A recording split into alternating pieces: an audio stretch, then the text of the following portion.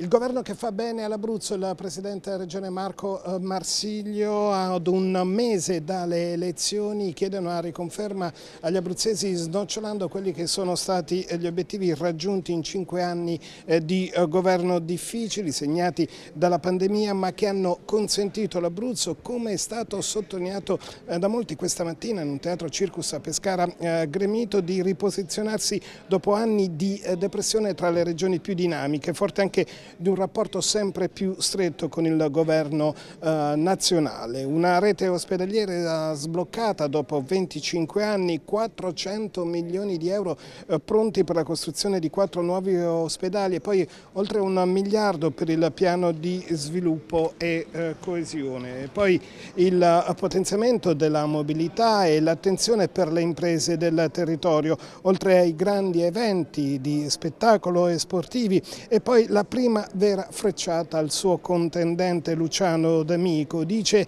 di poter garantire mobilità urbana ed extraurbana gratuita a tutti gli abruzzesi, ma dimentica che da presidente della Tua alzò tutte le tariffe. E poi tra bolle di sapone, il commosso ringraziamento al padre presente in sala, l'endorsement di prestigio della neuroscienziata di fama internazionale abruzzese di nascita Antonella Santuccione, consulente prezioso preziosa durante la pandemia che Di Marsiglio ha sempre particolarmente apprezzato, eh, pacatezza e concretezza. Ma andiamo a ascoltare il eh, Presidente da noi intervistato.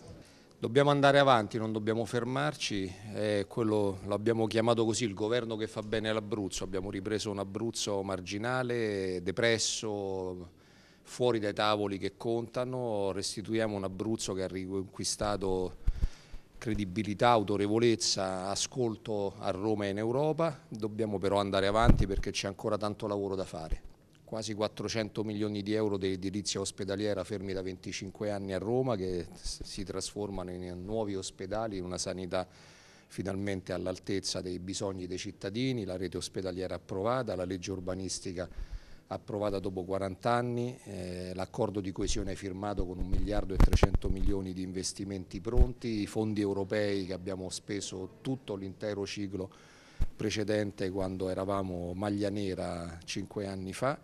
e il nuovo ciclo di programmazione è già partito con oltre un miliardo di euro di investimenti pronti. Beh, è stata una legislatura complicata perché abbiamo subito Covid, emergenza, guerra, bollette, quindi non siamo riusciti ad andare avanti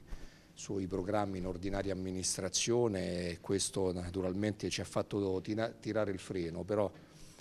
eh, sperando che il peggio sia ormai alle nostre spalle, credo che il lavoro fatto abbia messo basi solide per raccogliere i frutti nei prossimi anni. Ecco, da dove riprendere in caso di eh, rielezione? La cosa immediata da fare subito?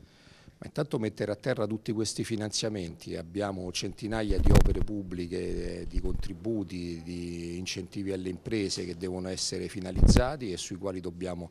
rapidamente mettere in campo tutte le risorse perché si trasformino in cantieri in opere finite e collaudate.